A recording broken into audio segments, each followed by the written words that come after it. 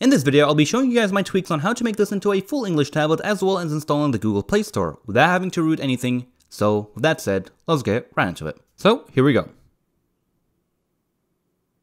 And we'll be back in just a bit. And we're back, let's get started.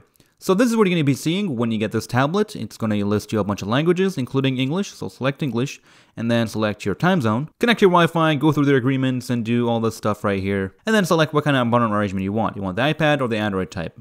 You're going to notice that there's a lot of Chinese words, a lot of Chinese apps, and a whole lot of stuff that you probably don't care about and you don't want to use. Now right down here, you may think that's the Google Play Store, but it's not. So to get started, I'll probably go ahead and uninstall all the apps that I can from the home screen. So we can just go ahead and install pretty much everything you can. For example, the Games app, you can't really uninstall it from the home screen, but there are other ways. You have the Mi Live, which is a live streaming service, and once again, just uninstall everything that you see here. And that seems to be about it for now. So let's go ahead and jump into the settings, then go to the installed app section and find the Games app. So there we go, it says Games, go ahead and uninstall that, and we should go back now, it's gone. And now that we are done removing all the apps that we don't want, we can go ahead and clean up the video and music apps. As you can see, when you first launch them, you'll end up with this big screen and you're like, what's going on here? It's a music or video app player. Why does it have a bunch of ads? Well, this is like their iTunes over there, and you can actually disable this feature completely and have them just be a regular video and music players. And in order to do that, you want to go ahead and jump to the settings, scroll down to System Apps on the bottom, and you'll have a list of apps,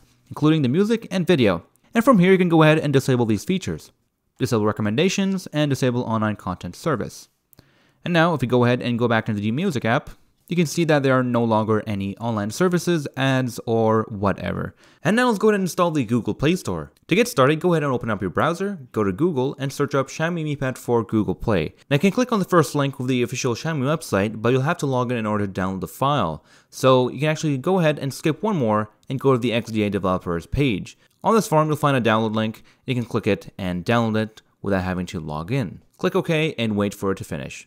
Now whenever you install something that is from the browser, it will ask you to give it permission. So give it permission. Click install, click open, and this is the fun part. So you just want to go ahead and click start, that is the blue circle, which is now yellow, and uh, just wait for it. Once it finishes, it will start asking you to install, and you just click install, but make sure you don't open any of the applications.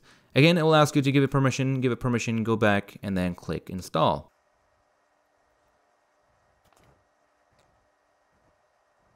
And finally, the Google Play Store. And once you're here, you can actually go ahead and click done. And then you should be done, done, done, and done. And one more, two, there we go. And as you can see, all the check marks are good to go. You can go ahead and press the button right down here, click OK, and it will open up the Google services. And this is where you can go ahead and put your login information and log in. Now before attempting to log in into Google, I would recommend jumping into the settings and giving full permissions to the new Google Play services especially the Google Play Store. So jump into the installed app section and scroll down all the way to Google Play Store, scroll down, Permission Manager, and give it access to pretty much everything.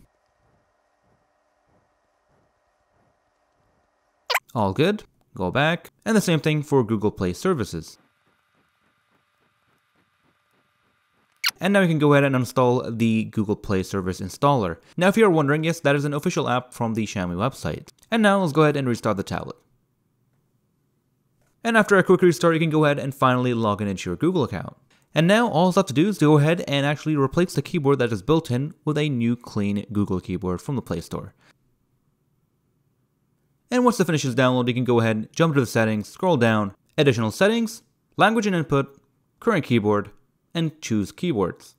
Then you can go ahead and enable the Gboard, which is the Google keyboard, and disable the Google Pinyin input, which is the Chinese keyboard. And at this point, you could say you're pretty much done. Unless you want to go ahead and install a custom launcher, such as Nova Launcher. Now Google Now does not work on this tablet. Even if you try to force the APK, it will say that it is not compatible. But on the bright side, Nova Launcher does work and that is the popular option. And to change your default launcher, you want to jump to the settings, home screen and recent, default launcher, and select whatever launcher you want.